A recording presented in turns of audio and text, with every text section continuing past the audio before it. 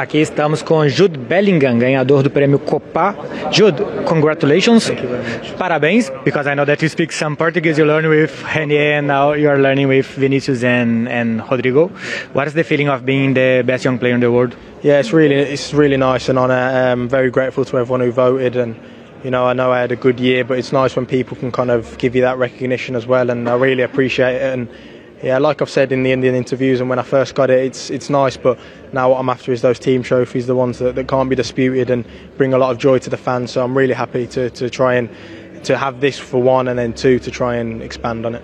I think that we are going to see you here in Paris at the Ballon d'Or for seven years. Yeah, hopefully, you know, it's if, if I am, that means I've performed well and that my team's won. And the most important thing is those two things that I try and give the best for my team to win. If that means that I end up here for a few more years and get to see you lovely people, then then I don't mind it. Last season you scored 14 goals with Dortmund. You have already 13 with Real Madrid. Are you surprised?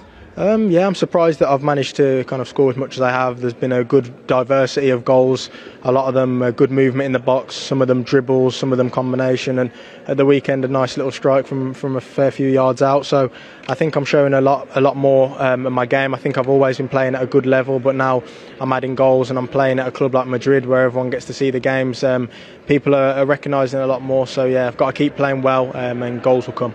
The last one with you. Are you feeling more Brazilian now with Vinicius and Rodrygo? Every day I feel more Brazilian. I think I'm getting close to Brazilian than Spanish for some reason. Every single day in the change room I can hear them and you know I love those guys. They're so vibrant. They give such a great vibe to the team.